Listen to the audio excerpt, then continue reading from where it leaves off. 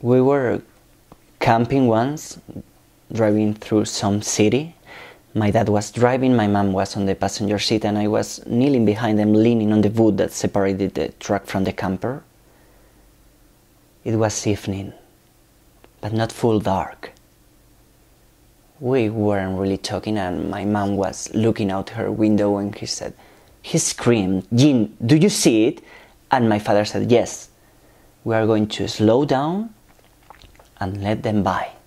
And we slowed down, and the car on the right passed us, and I couldn't really see inside, but I saw an arm hanging out the window and it was impossibly thin.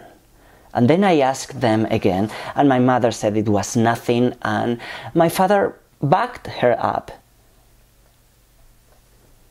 But a few months later, my mom died.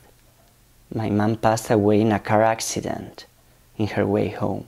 And then I asked my father again, and he said, it was a skeleton. It was no mask because you could see through the jaws. It had a tongue and it had eyes. It was death. And from that moment on, I'm terrified. I have the intuition that someday I will look into death's eyes and then I'll know that I'll die soon after.